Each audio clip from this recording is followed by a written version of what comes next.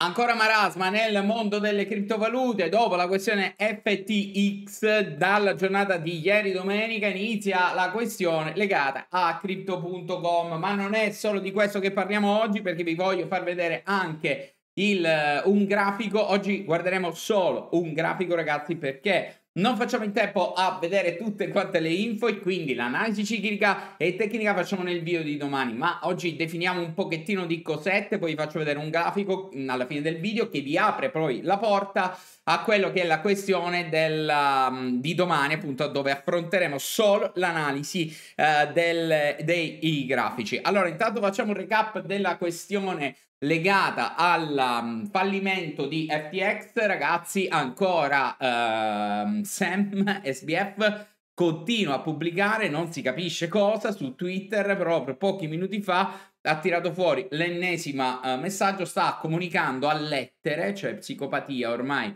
senza limiti, guardate qui che cosa sta tirando fuori da questa, eh, ieri ha tirato fuori uh, 14 ore fa un Watt, poi ha buttato un H, adesso una A 40 minuti fa, non si capisce che cosa vuol dire, insomma non si capisce che cosa ha nella saccoccia, se ha qualcosa da dire di importante o meno, vabbè. Uh, eh, FTX scamma, quindi froda totalmente, questa è l'ultima informazione che è rimasta. Non c'era altro modo di far fallire un exchange come FTX che aveva una super piattaforma di trading altamente evoluta, altamente liquida, altamente funzionante. L'unico modo era rubare soldi o fare cose strane, ragazzi, e questo è proprio quello che hanno fatto. I, mm, facendo un po' il punto della situazione, io credo che la questione eh, di FTX eh, non sia stata neanche voluta da CZ, ne parliamo adesso anche sulla questione di CZ perché Uh, sta tirando fuori queste eh, tweet anche nella giornata di ieri ha tirato fuori Uh, l'ennesimo tweet contro il competitor crypto.com sembra una partita a risico eh, di una persona che sta tentando in tutti i modi di andare a mh, mm, distruggere il competitor. Non è proprio così, perché ovviamente non è un personaggio che fa magari uh, una guerra aperta, però um, tanti atteggiamenti non sono giusti, ne parliamo anche in questo video. Uh, e poi parliamo di crypto.com perché ha problemi, può fallire, che succede, come si valuta un exchange, ma indovinato un po' nello stesso identico modo in cui si valuta eh, eh, valutavamo prima. Allora, io direi di partire dalla questione di eh, Sisi che proprio pochi minuti fa, tra l'altro ha finito una ama, eh, che ha fatto, ha detto una serie di, di cose eh, di cui dovremmo parlare. Intanto, primo punto, dopo la questione della scorsa settimana, secondo me si è reso conto anche lui che ha fatto cose che non voleva fare, cioè ha tirato fuori con un tweet um, una um, macello colossale perché secondo me non era assolutamente consapevole delle frodi che c'erano dietro eh, FTX perché a quanto sembra solo Sam lo poteva sapere, tant'è vero che anche gli altri grandi fondi, nessuno aveva prelevato uh, i fondi da FTX, ragazzi. Questo mh, mm, è ovvio perché se qualcuno lo sapeva avrebbero prelevato tutto. La stessa Binance non è riuscita a vendere gli FTT perché ha detto che li vendeva per spalmarli sul mercato, ma non c'è riuscita perché FTT è andata praticamente quasi a zero, quindi non c'è riuscita quindi si è autodanneggiata per un 250 milioni di dollari, magari per loro non sono nulla, però comunque un danno l'ha subito. Quindi ehm, sia da questo punto di vista nella uh, sua ama ha tirato fuori poi una serie di cose per tentare di risollevare un po' il mercato. Intanto dei punti fermi che hanno tirato. Vogliono fare un fondo per salvare i progetti, non i, i mm, customer crypto che sono mm, subiscono delle crisi di liquidità in pratica, ragazzi, Binance tira fuori l'idea di una specie di banca centrale. Ve la prendo tra virgolette, eh, ragazzi, um, ovviamente non esistono queste terminologie, quindi dobbiamo improvvisarci un pochettino. Per una specie di idea di banca centrale che vada a sopperire alla crisi di liquidità di singoli progetti che, eh, insomma, eh, possono avere crisi di liquidità a causa di crash come questo qui. Ora eh, si proteggono tra di loro. Chi è che gestirà questo fondo, chi è che fa il capo di questo fondo, non c'è una legge, non c'è niente, vabbè.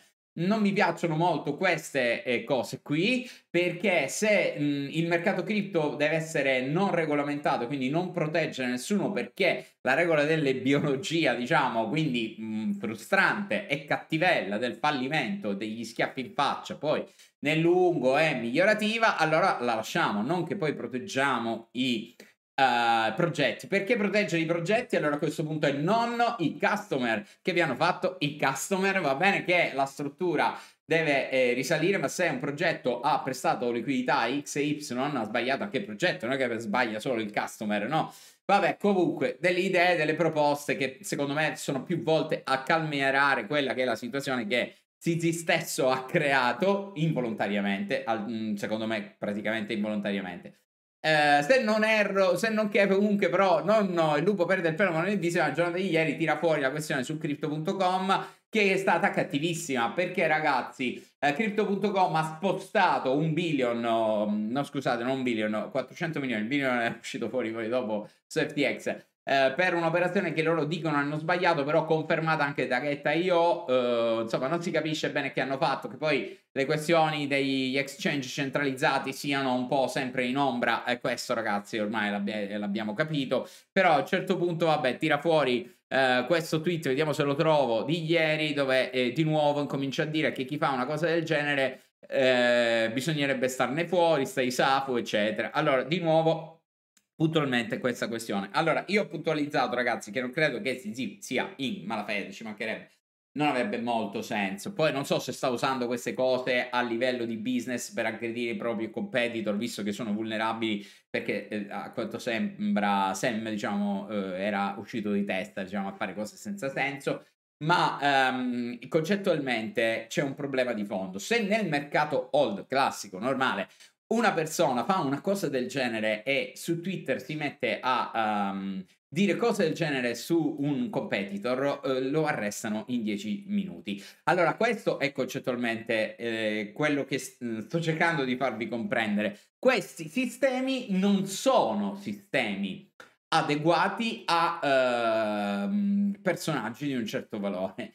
Ora, che sia il discorso che mi proponi, la, il um, Recovery Fund, come lo vogliamo chiamare, questo fondo, diciamo, per i progetti in crisi di liquidità, mi sta benissimo che si prendono le redini del mercato cripto cercando di avere delle linee guida come la Pro Reset. Giustissimo, sono tutte cose giuste, però non si può parlare di competitor e neanche indirizzare uh, l'utente ad avere una food, una, la FAD, diciamo, quindi a prelevare dagli utenti mandandoli in bank run in crisi di liquidità tralasciando il concetto che se un exchange non fa delle frodi, allora ragazzi, problemi di fallimento non ce ne sono, questo è il discorso, a meno che non stanno gestendo male gli utenti, perché anche su questa questione di crypto.com bisogna ragionarci proprio in quest'ottica, anzi vi faccio vedere come Chris ha retto bene il colpo al momento, anche perché ha fatto un'ama e ha indicato una serie di punti dove lui dice dove stanno i fondi e tutto il resto e poi i withdrawals sono processati come sempre e, e non ci sono problemi. Io stesso ho fatto una serie di eh,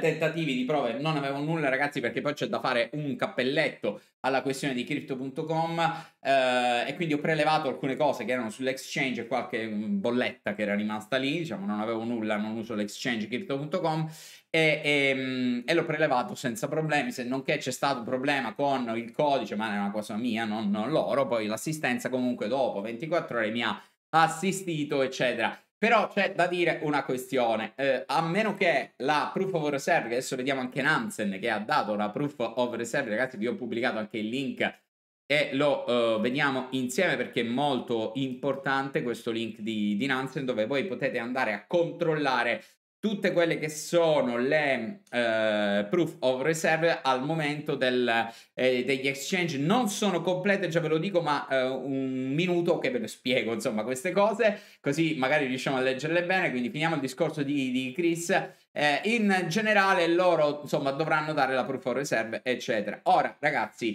eh, nel caso di crypto.com sicuramente ci sono diversi punti che si possono tirar fuori. Cioè l'exchange di crypto.com rispetto a FTX ovviamente era una uh, barzelletta no? Diciamo così. Quindi non è sicuramente un exchange che si rivolge a un pubblico di professionisti come era quello di FTX, è più un retail, quindi avete visto che insomma dentro ci stanno le Shiba, eccetera. Però concettualmente questo non cambia il discorso di fondo sul fatto che un exchange per fallire, ragazzi, eh, deve eh, fare investimenti con i soldi dei clienti, eh, rubarseli o sbagliare a leva non si sa cosa, cioè fare frodi costanti e avere degli atteggiamenti poco Uh, prudenti, diciamo così. Non c'è altro modo perché anche lì è un casino. Quindi anche se quello di crypto.com Uh, ragazzi, eh, non, non, magari non fa le di FTX, non, non, è un business, non è un business florido con FTX, sicuramente non lo è.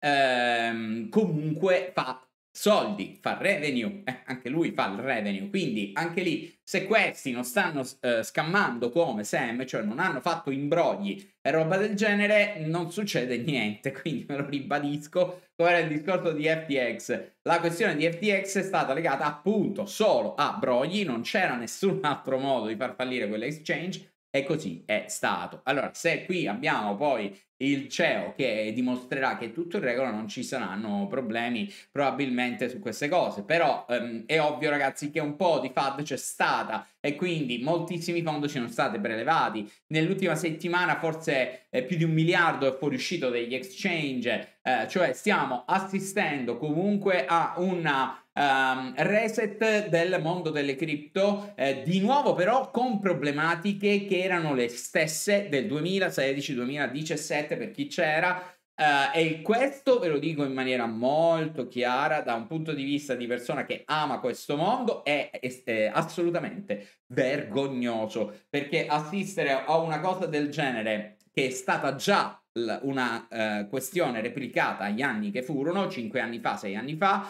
eh, vuol dire che non abbiamo imparato nulla e soprattutto che questo settore non ha fatto progressi sufficienti a eliminare una delle prime problematiche, cioè eh, le questioni legate ai checks. Allora molti stanno dicendo ci vogliono regolamentazioni, molti no, ci sarà da lavorare molto, però la questione su questa uh, cosa qui indubbiamente indica un fallimento di questo oh, mercato. Ci sono alcuni che dicono dobbiamo andare tutti in DEX.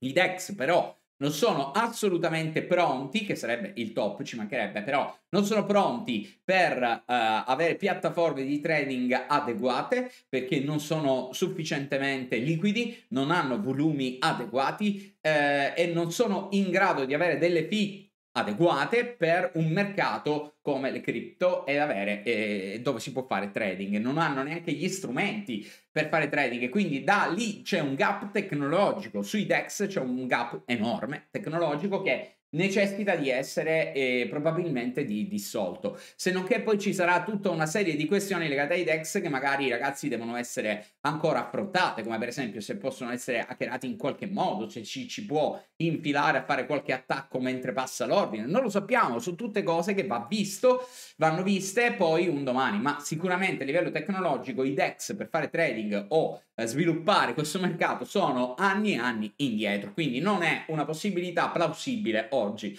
lavorare eh, su quegli ambiti. Perciò i CEX, quindi i checks, sono ancora estremamente importanti per l'adoption del mercato del mondo delle cripto, a meno che non si vive in una bolla, ci mettiamo il cappello eh, parlante di Harry Potter sulla testa e ci inventiamo eh, favolette alla Cenerentola e Babbo Natale che chiaramente moltissimi fanno ancora. Allora, sognare è bellissimo, però piedi per terra perché non possiamo fare passi più lunghi della gamba. Quindi essere visionari è corretto, ragazzi, però andare a dire fesserie colossali di cose che magari capiteranno da qui ai prossimi dieci anni eh, non ha molto senso. Quindi intanto sogniamo che è bello. Però poi mettiamo i piedi per terra e diciamo cosa serve ora, no? Altrimenti restiamo solo a sognare. Vabbè, Detto questo, uh, vi faccio vedere il portafoglio di Nansen, come si va a guardare quello che significa questa cosa qui. Allora, vi faccio vedere, eh, intanto per esempio guardiamo... Uh, ok ragazzi, mi sono messo in pausa, non so da dove si è fermato, riparto. Allora, questo è il portafoglio di, di Nansen, quello che eh, vi lascio anche il link in descrizione, l'ho pubblicato sul mio Twitter. Eh, qui vi faccio... Allora ragazzi, ecco il portafoglio di, di Nansen, non so perché mi si ferma la, uh, la condivisione e registrazione, vabbè, um, abbiate pazienza. Eh, allora, per quanto riguarda il, um, eh, diciamo, questa uh, è quello di crypto.com, intanto c'è da specificare come si legge questa analisi che è scritto qui. Questi sono i network eh, dimostrati dai che, mh, wallet degli mm, exchange che sono indicati agli exchange eh, e sono presenti nelle blockchain. Però lo stesso Nansen vi dice che non è Uh, assolutamente esaustiva questa uh, cosa qui perché mancano ad esempio altri wallet che magari gli exchange possono avere es- ehm, oppure delle riserve oppure degli edge e soprattutto non si distingue tra quelli che sono i, i, il, il, quello che hanno che possiedono gli exchange uh, per se stessi ad esempio oppure eh, che eh, sono dei, dei, loro customer. Quindi anche qui c'è stata la questione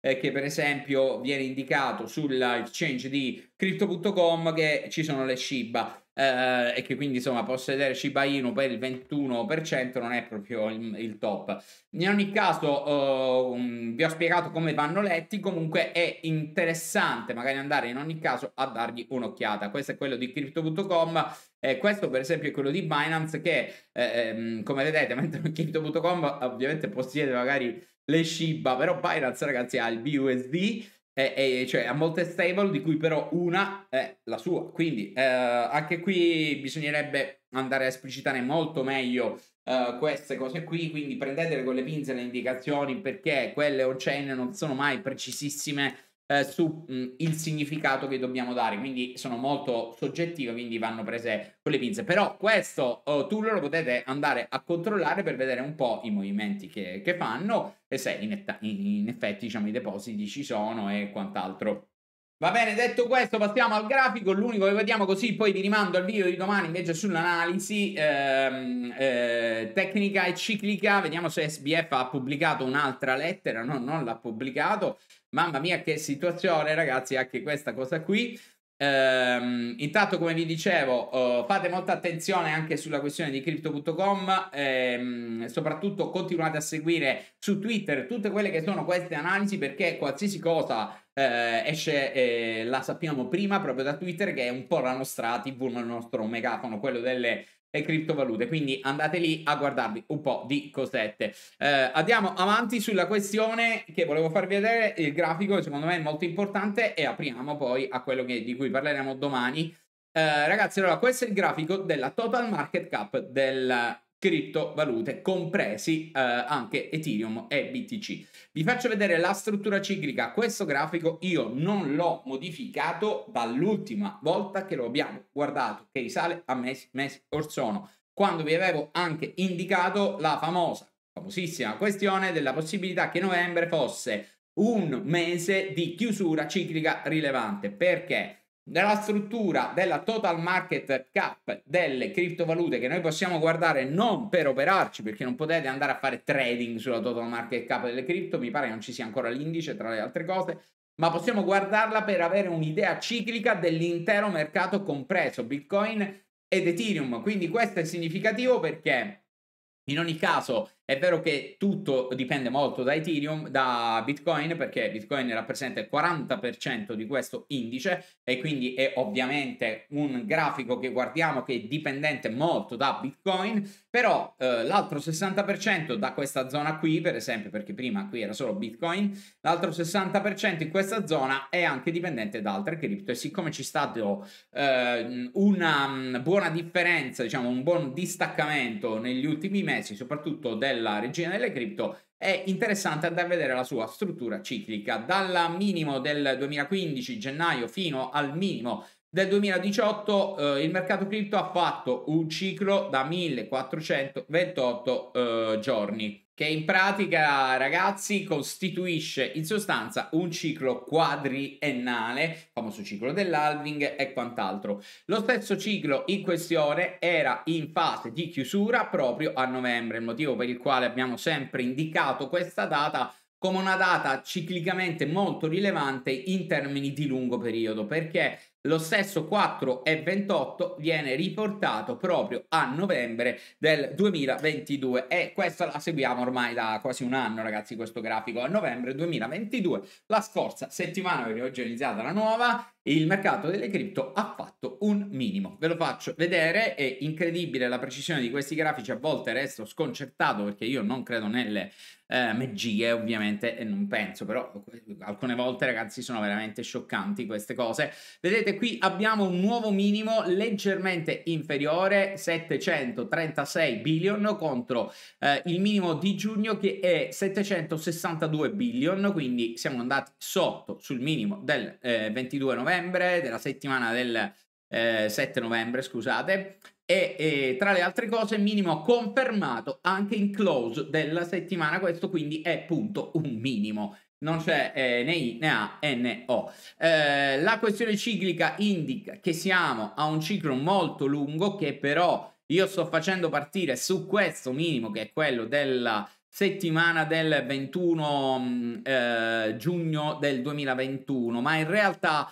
è un shadow ragazzi tant'è vero che si può tranquillamente farlo partire su questo minimo incloso perché eh, questo non è un grafico di una cripto questo è un grafico aggregato. Se così facciamo vedete che la struttura ciclica di eh, lungo si divide appunto nel famoso 480 490 sono molto simili poi in ogni caso eh, sono molto anche lunghi eh, perciò su questo poi dobbiamo ragionarci meglio magari nel video di domani andando a, a, valutare una serie di cose. È anche il motivo per il quale io vi dicevo da un sacco di tempo aspetto il 15 aspetto il 15 cioè aspetto questa settimana significava proprio perché volevo capire un po' di cose. Ethereum il minimo non lo ha fatto, ragazzi, e questo significa che se da un punto di vista di ciclo annuale Ethereum non ha fatto il minimo, probabilmente dobbiamo con- mm, capire un po' di cosette nei prossimi mesi perché a meno che non si è slegato totalmente da Bitcoin è difficile che Bitcoin abbia un ciclo annuale in chiusura adesso,